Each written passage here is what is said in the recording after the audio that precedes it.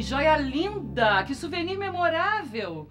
Amelie, como é que você conseguiu isso? Nem que você vivesse mil séculos, teria dinheiro pra comprar o anel do Drácula. Presente do meu amor, o Bartô. Ih, viu? Até rimou. Presente do Bartô? Aquele destramelhado não tem nenhum de cair vivo. Como é que ele conseguiu se apossar dessa maravilha? Vai ver que foi o pai dele que matou o nosso poderoso Conde Drácula. Galileu e Bartô são tão débeis e incompetentes que devem estar no final da fila dos suspeitos pelo desaparecimento do Conde. Joga isso fora, Meli. Tá na cara que o Bartô adquiriu isso num vampiro camelô. Aliás, querida, tudo que é famoso é imitado e vendido em qualquer esquina. Quer dizer, então, que, que se esse anel fosse mesmo verdadeiro, e se os vampiros descobrissem que foi o Bartozinho que me deu, ele ia virar peneira de tanta dentada que ele ia levar? Claro, todos os vampiros estão atrás do sujeito que acabou com o Drácula.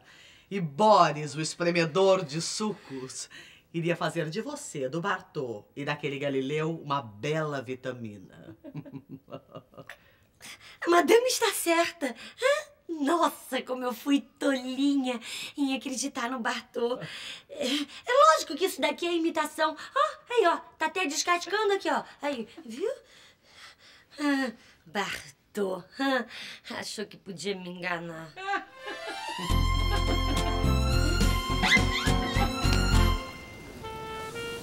Ai, puxa, a gente tem que estudar para as provas. Mas bem que no fim da tarde a gente podia sair para tomar um sorvete. Hum, eu tive uma ideia bem melhor. Em vez da gente ir nessa sorveteria aí, que tal a gente ir para um lugar bem mais bonito? A gente não tem foto junto. Vem comigo. Moça, você pode me dar um filme com 24 poses? Você não quer levar o de 36? Tá em promoção pelo mesmo preço do de 24. É claro que eu quero. 12 fotos grátis. Mais tarde você passa lá em casa, tá? Eu vou me arrumar bem bonita para as fotos. Hum, não precisa, Bia. Você já é linda.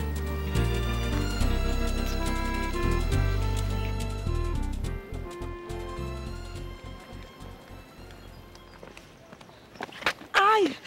Ai! Armando! Ai, graças a Deus! O Andrezinho, você sabe onde é que ele foi? Tá sabendo de alguma coisa? A única coisa que eu sei é que eu vou te ensinar a nunca mais abrir essa tua boca grande que você tem. Porque eu vou te dar uma surra que eu já devia ter te dado há muito tempo. E vai ser aqui mesmo, no meio da rua. Seu Estevão disse que você queria falar comigo? Eu quero sim, filho. Vem cá, senta aqui. Nossa, pai. Que cara. Até parece que você vai falar alguma coisa muito grave, horrível. Não é nada grave, é? Infelizmente é, Bia. Eu preciso ter uma conversa muito séria com você sobre.